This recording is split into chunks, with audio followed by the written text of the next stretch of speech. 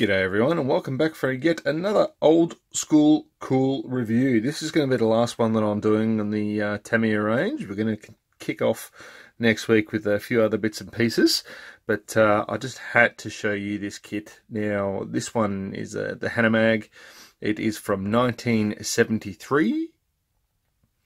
So it's been around the block for a little while and uh, it is withstood the test of time. It has withstood the test of time rather well actually. Uh, so typical Tamiya affair. everything comes bagged um, except for the hull halves. We'll show you that. Box art's nice, and it's actually fairly indicative of, of the kit. Um, not much else on there. You get your double sets of instructions once again. I'll just quick flip through those. Now there is one interesting little thing that I noticed that I failed to mention in the uh, Pak 36 or 3.7 centimeter uh, review. So just quick look at this. All pretty basic instructions installation. It's not all that hard. There's a few bits and pieces more than I was expecting, and of course you get a couple of uh, neat little crew crew members for it as well. So or infantry, uh, which is pretty cool. I like that. So not only you get the half track, but you get some troops as well. So nice, very nice. Gives you a little rundown on the vehicle, typical Tamiya. Uh, now, just quickly touching on the uh, Pak 35 36 3.7 or 37 millimeter. This on here I don't know how I missed it but this on here you can actually install this gun with this kit. So it comes with these sections. And we'll just show you there.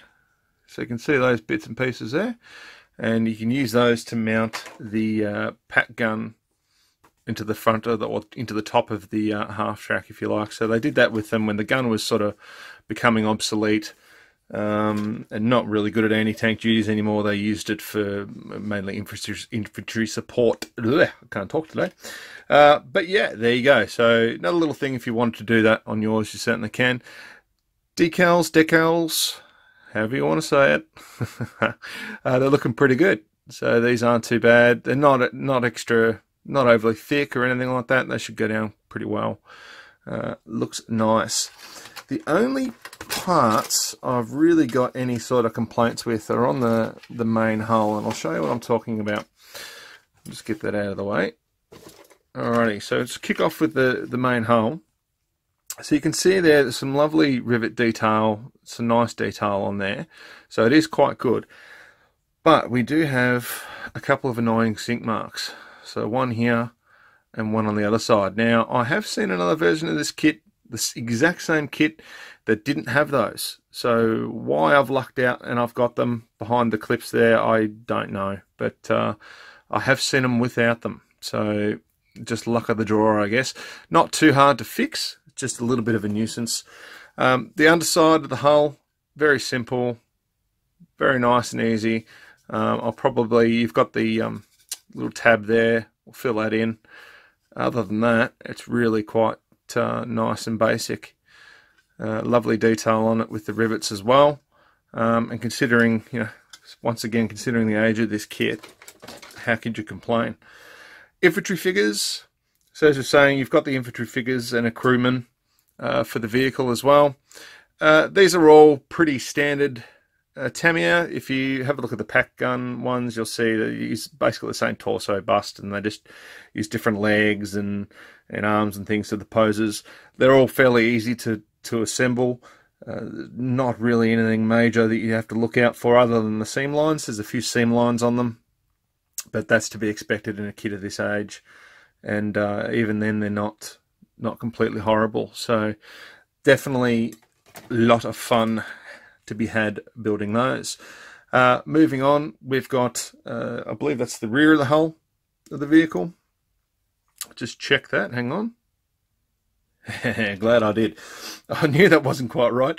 That is actually the exact opposite end of the vehicle. so that's the nose. This will teach me not to do videos at this time of night. oh, dearie me. Uh, machine guns, you've got the fenders for the uh, outside of the vehicle. Injecting pin marks are hidden underneath there. So, typical, well thought out, um, nicely designed, nicely molded Tamiya kit.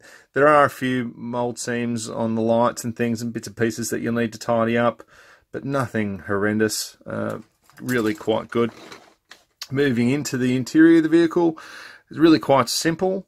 Um, so you see the backs of the seats there. That's probably going to need some fixing up um, if you want to have them. No, you're going to see, you probably see the back of those. I've never made one of these before, so I'll have to double check it. But uh, I would be filling those, definitely. Um, you could go overboard and put in springs and all that sort of jazz if you wanted to, but I don't think that's necessary. We have the control panel there. You can see that's all fairly basic. And uh, the interior has got a nice textured floor on it.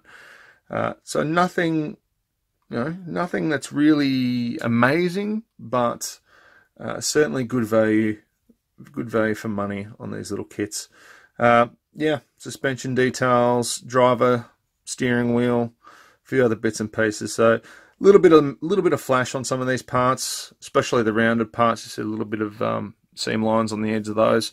That's you know pretty standard. Uh, that's part of the hobby. So, and let's have a look at the uh, the wheels here. Obviously, we've got the vinyl tracks. We'll show you those in a second. Uh, but these are the, the running gear or the wheels for the vehicle. And they're actually all quite nice. So just try and zoom in a bit better for you on those. Alright, so all the front detail, typical Tamiya, all thought out very well. Um, you haven't got anything on the front that's really going to stand out and look horrible. Even the wheels are the same. So quite nice. But all the uh, any pin marks or anything are all on the back. So always well thought out. And that's why you got to love these old kits. Uh, even though they are old, they still present um, excellent value for money and a good, easy build. They're not, you know, it's not a nightmare build. Um, now, talking in nightmares, some of you will be having nightmares over these. As I said before a hundred times, I like these. I I'd rather build these than spend hours putting together individual track links, and I'm actually been building on and off for the last two years a Panzer One with individual track links, and my lord, have I had enough of that kit. It's a great kit, but I'm just sick of those tracks. Uh, there's a few little marks on these that you need to tidy up. Just see if I can get that showing there, just where my finger is. So see that there? It's probably not going to be noted. Hang on, zoom in, would you? There we go. Sorry about that, everyone. There's an amateur working the camera again.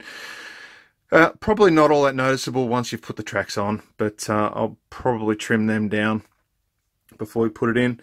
And uh, I'll do a video, or you would have seen the uh, the video of the Panzer 4, where I show you the uh, just how I put the tracks links together with the CA glue. It's not hard, so I I quite like these.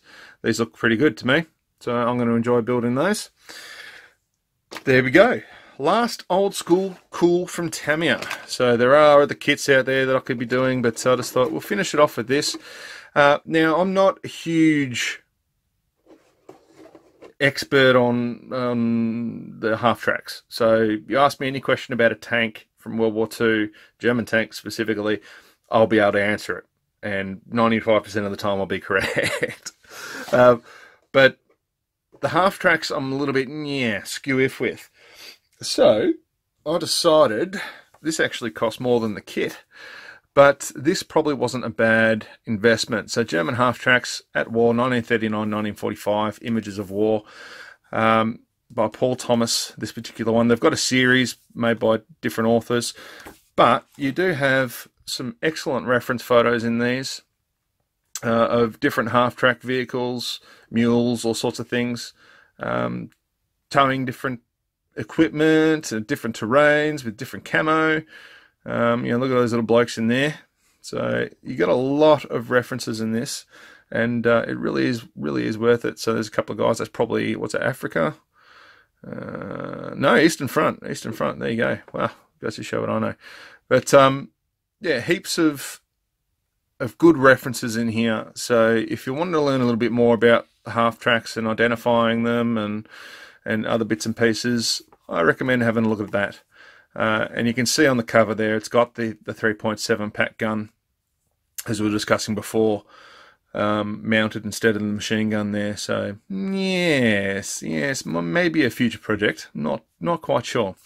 Well, that'll do for today. Thanks for watching and uh, tuning in. I hope you uh, like the vehicle. Let me know if you've built one of these. It'd be great to know. If you know if you've built one before, had any um, issues with it, enjoyed it, etc., uh, etc. Et Let me know what to look out for if I uh, ever get around to building this. And uh, don't forget, we've got the monthly subscriber giveaway. So uh, this month, uh, you would have seen the video that we put up earlier this month in January 2019, it is at the moment. And that was for the Panther. That's still to be given away at the end of this month. And I'm going to be doing one every month this year. So keep an eye out. Let me know in the comments what you'd like to see, whether you'd like to see uh, aircraft, sci-fi, armor, uh, just a few few hints on what you might like. Uh, I've got a lot of ideas and a lot of things that I can put in there, but I'm not quite sure. So I know some of you have said, "Oh, look, I'd really love to see X, Y, or Z." Let us know what you what you'd like, and uh, definitely, definitely uh, keep an eye out for them because they are coming. All right, thanks again and take care.